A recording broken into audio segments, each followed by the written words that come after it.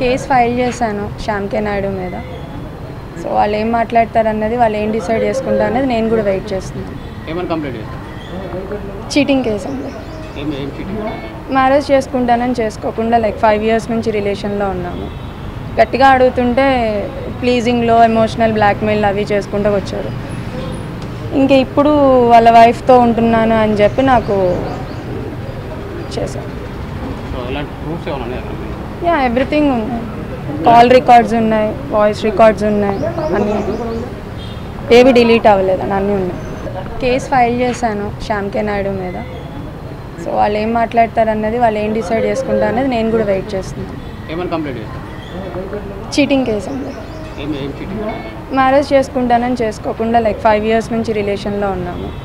గట్టిగా అడుగుతుంటే ప్లీజింగ్లో emotional blackmail అవి చేసుకుంటూ వచ్చారు.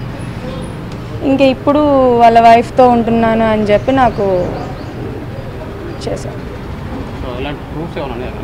యా ఎవ్రీథింగ్ ఉన్నాయి? కాల్ రికార్డ్స్ ఉన్నాయి వాయిస్ రికార్డ్స్ ఉన్నాయి అన్నీ ఏవి డిలీట్ అవ్వలేదని అన్నీ ఉన్నాయి.